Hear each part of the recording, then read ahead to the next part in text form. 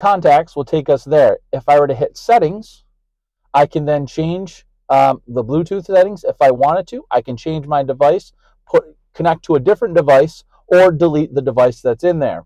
All simple, all controlling, all from using the phone button there on the side. Any questions? Let us know.